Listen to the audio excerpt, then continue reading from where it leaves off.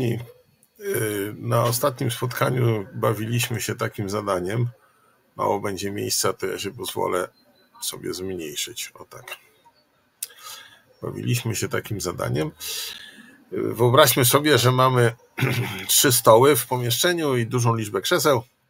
Na pierwszym stole leży jedna tabliczka czekolady, na drugim dwie, na trzecim trzy tabliczki. Ten rysunek zrobił dla mnie ChatGPT.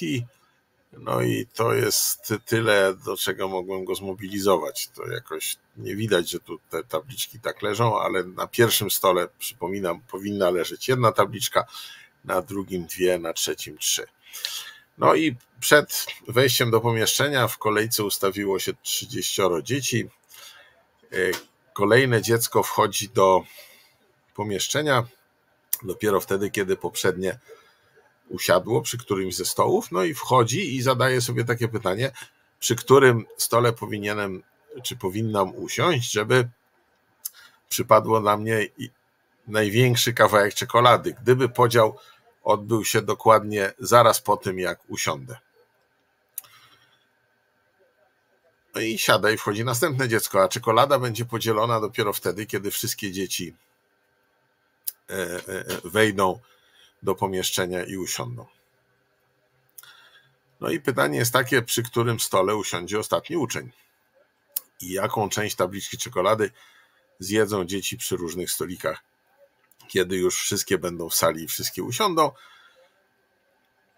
E, może się zdarzyć, że w pewnym momencie e, e, będzie wybór, będzie można usiąść zgodnie z tym kryterium przy którym stole przypadnie na mnie najwięcej czekolady, przy więcej niż jednym stoliku będzie do wyboru, no to wtedy umawiamy się, że e, e, dzieci siadają przy tym stoliku, przy którym jest mniej osób.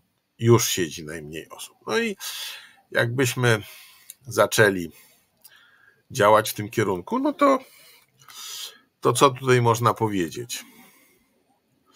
Co tutaj można powiedzieć? E, Momencik, bo muszę sobie to przesunąć. Nie chce mi się przesunąć, chwileczkę.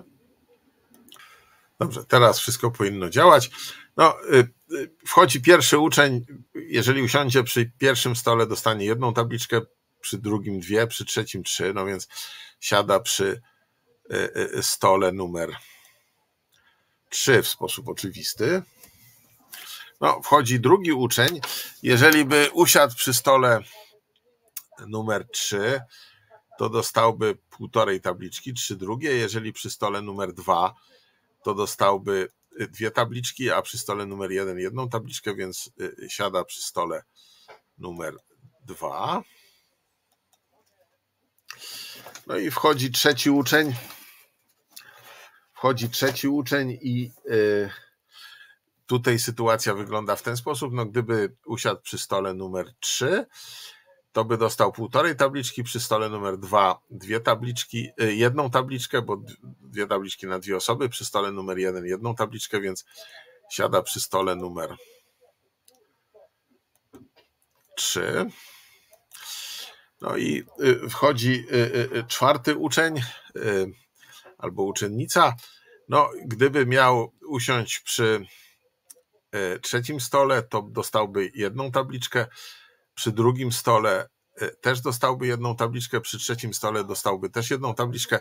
To jest ta sytuacja, o której tutaj napisaliśmy, że wtedy siada przy stole, przy którym znajduje się najmniej osób. Nikt nie usiadł do tej pory przy pierwszym stole, więc e, siada sobie przy pierwszym stole.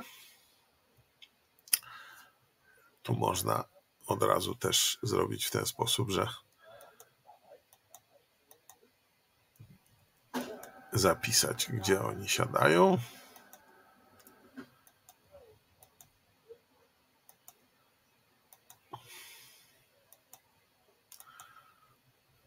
O, w ten sposób.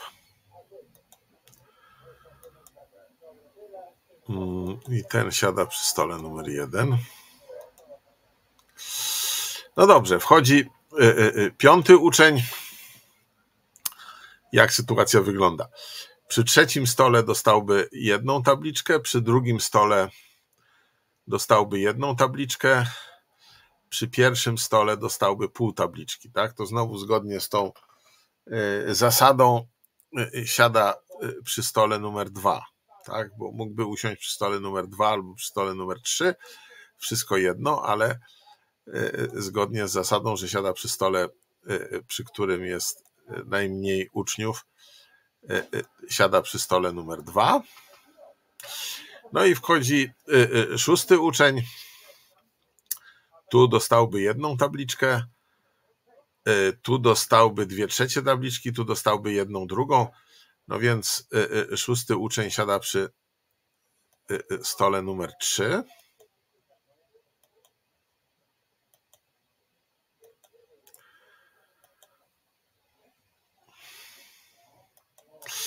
No i tę analizę można tę analizę można kontynuować dalej. Myśmy się e, e, e, zajęli badaniem tej sytuacji aż do aż do 18 aż do 18 uczniów. No i zauważyliśmy taką zauważyliśmy taką regułę, że powtarzają się takie cykle 3, 2, jeśli patrzymy e, e, na uczniów, którzy e, na numery stołów, przy których siadają uczniowie, no to 3, 2, 3, 1, 2, 3. I potem znowu 3, 2, 3, 1, 2, 3 i 3, 2, 3, 1, 2, 3. No i jeżeli tak, no to łatwo policzyć, co się stanie z 30 uczniem, no bo y, taki cykl ma długość 6 uczniów, czyli w 30 zmieści się dokładnie 5 takich cykli. No i 30 uczeń usiądzie przy trzecim stole.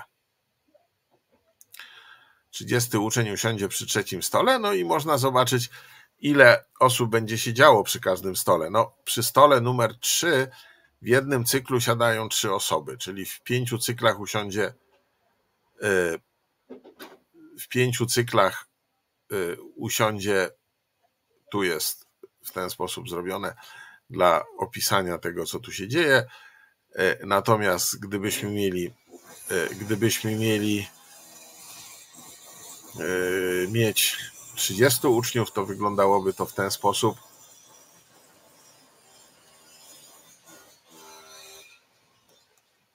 jest, e, są trzej uczniowie e, e, na cykl i pięć cykli, czyli piętnaścioro, piętnaścioro dzieci. Oj, przepraszam, tu się coś zepsuło. Muszę na chwilę. O, teraz już jest dobrze gdybyśmy mieli 18 dzieci w tej klasie, no to trzy cykle i y, y, przy pierwszym stole w jednym cyklu siada jedno dziecko, więc usiadłoby przy pierwszym stole troje dzieci i każde z nich dostałoby jedną trzecią tabliczki czekolady. Przy drugim stole w jednym cyklu usiada przy drugim stole dwoje dzieci, więc w trzech cyklach to byłoby sześcioro dzieci, więc jedna trzecia tabliczki czekolady na dziecko, a przy stole trzecim w jednym cyklu siadają siada troje dzieci, więc w trzech cyklach dziewięcioro dzieci i też jedna trzecia tabliczki czekolady na dziecko. Zabawne jest, że przy wszystkich tych trzech stołach y, dzieci y, dostałyby tyle samo czekolady. No i podobnie jest, jeżeli mamy do podziału, jeżeli mamy, klasa ma 30, 30 dzieci, tylko że w pięciu cyklach przy stole pierwszym siada pięcioro dzieci, przy drugim dziesięcioro, a przy trzecim piętnaścioro i każde z nich dostaje po jedną piątą tym razem tabliczki czekolady na dziecko. No i tak wygląda e, e, e, metoda i rozwiązanie tego zadania.